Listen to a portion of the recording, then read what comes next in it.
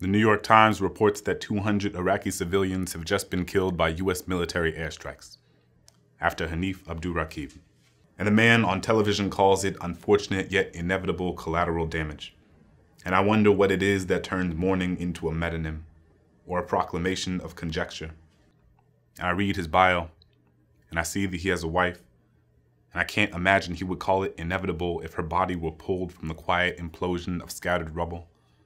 And I see that he has a son, and I can't imagine he would call the boy who bears his name collateral in someone else's war.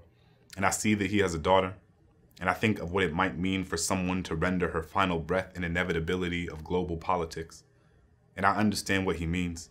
I know he means that war is callous and unforgiving, that a militant can surround himself with a dozen women and children so that the pilot must decide between a target and the soft ache of his own heart's detonation.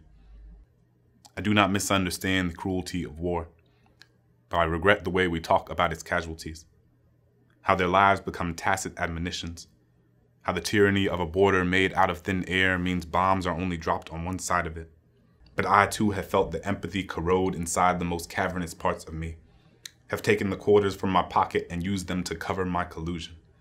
Who among us has not used spare change to ornament our contrition, laid a garland of rations atop the bodies of names we do not know? And I'm not sure what it means for us, not to be the one to fire the bullet, but to behave as if the bullet always belonged in that chest and not our own.